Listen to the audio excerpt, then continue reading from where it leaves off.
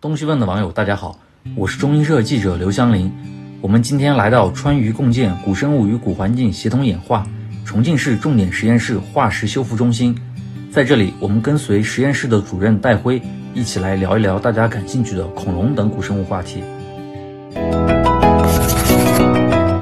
恐龙化石形成，它有几个条件，就是说，呃，之前我总结一下，大概有几个，比如说第一个，它恐龙要死对地方，呃，比如说我们恐龙死的离水源比较远，就在我们陆地上，它很快死亡过后就被我们的食腐动物啊等等就把它的骨骼，呃，就把肉吃了呀，骨骼也损坏了，它就没法没有保护成化石的这个实体，所以，呃，它要死在哪儿？死在水边，然后我们的洪水啊，我们的水流啊带来下一步沉积物，把它迅速的覆盖，这样的话避免我们的食腐动物呢。或者说食肉动物把它吃了。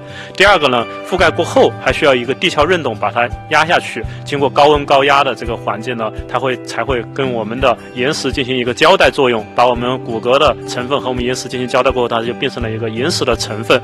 这样经过就是很长一段时间，它就会慢慢的变成化石了。好厉害呀！哎，这个肯定不能摸。为啥呀？化石啊，怎么能用手摸呢？这化石不是石头吗？是这样的，就是说我们一般情况下呢，就是我们重要的古生物化石都是戴着手套去，呃，去触摸它的或者去拿它之类的。但是呢，我们的恐龙化石大家可以看，它确实刚才他说的，这就是一块石头，它确实石化程度非常的高了，就跟我们的岩石差不多的硬度啊之类都非常的高。呃，平常我们就是拿手偶尔去摸一下它，或者我们在修化石的时候，我们很多时候没有戴手套，都是技工都是拿手去摸，这样它修得更精细一些。其实这个手的触摸呢，对于我们恐龙化石的损害呢，其实是非常小的。这个是恐龙的骨头，但是不是我们中药所说的这个龙骨。我们中药传统中所说的龙骨呢，其实是我们哺乳动物的化石。大家可以看这个恐龙的骨骼，其实已经是一块。完完全全的岩石了，也就是说这块石头它怎么能入药呢？把这石头放在药，也就是在我们中药里面掺了一些石头沙子这种感觉，对吧？所以它不是我们中药所说的龙骨。这些恐龙化石为什么会有不同的颜色？是我们故意就是把它上色上成这样好看一些的吗？其实不是。我们在恐龙化石装架的时候是非常尊重化石原来本身的颜色，也就是说，呃，化石原来的形态什么样子，我们复燃就是一定是什么样子，包括它上面的那些。呃，古纹啊、裂纹啊等等，我们都会把它复燃出来。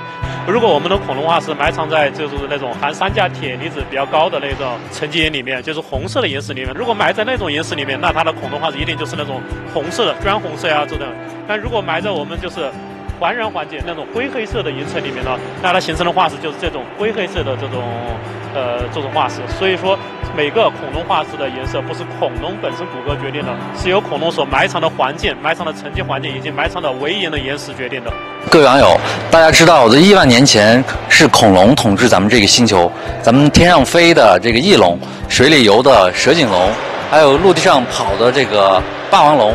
啊，呃，试一下，我需要需要打断一下你，就是说你刚才说到了恐龙统治了整个地球，你举了例子，有包括空中的翼龙，然后水里游的蛇颈龙。其实我想说的话，你刚才说到的翼龙和蛇颈龙呢，它都不属于恐龙，只有你刚才说的陆地上跑的霸王龙啊。我们的马门溪龙它是恐龙，这是一个分类学的问题。带龙的就一定是恐龙吗？对吧？比如说我们现在带牛的一定是牛吗？我蜗牛是不是牛？我们现在所说的恐龙一般都是指我们陆地上跑的这些，呃，四个脚着地的，对吧？霸王龙是两个脚着地，我们四肢的就是那种，呃，在路上跑的。但是我说完这个问题，肯定网友又会说，空中飞的一定没有恐龙吗？经过这二十年的研究，我们空中飞的也有恐龙，就是长羽毛的恐龙也飞向蓝天了。我们大家可能有一个普遍的认识呢，在六千六百万年前白垩纪末期的时候，我们的恐龙呢是经历过一个大灭绝，全部都死亡了。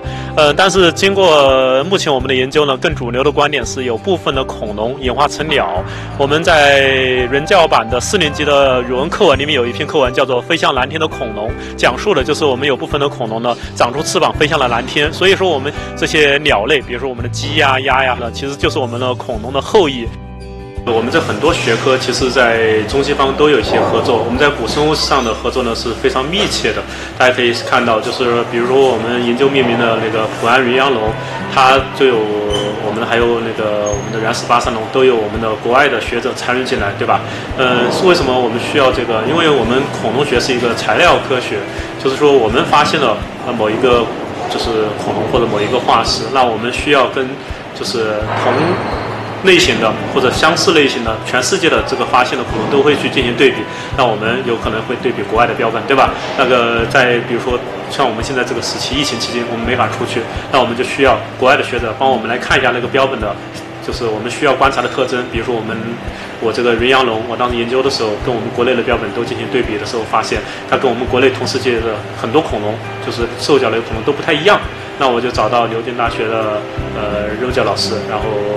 呃，帮我们去看一下他所研究的大型兽脚类的标本。正好呢，他帮我们去拍了一些扭锥龙和没扭锥龙的那些就是同部位的那些特征，呃，让我们去对比。他发现我们这个龙跟他的那个研究的扭锥龙和没扭锥龙有点类似。经过我们对比呢，呃，也让我们解决了一些就是形态学上的问题。这个我们对比后才确认它就是一个新属性种恐龙，我们才命名了普安人亚龙。这个就是我们在古生物很常见的。还有就是说我们呃中西方呢在古生物学上的一些特征，因为我们中国地大物博，古生化石自然非常的丰富，呃，所以我们很多学者呢，呃，更致力于去做形态学的研究，呃，还有就是说我们基础的一些研究。而西方呢，特别比如说我们英国的学者，呃，近几十年在他们的国家很少发现恐龙化石，那他们做恐龙都干什么呢？就做一些新的方法的研究，呃，比如还有一些系统演化等等这方面研究。那我们跟他们一起合作呢？把他们擅长的和我们擅长的一起结合起来，那对于这个标本研究的就更加透彻了，那我们的这个标本的价值发挥的就更大了。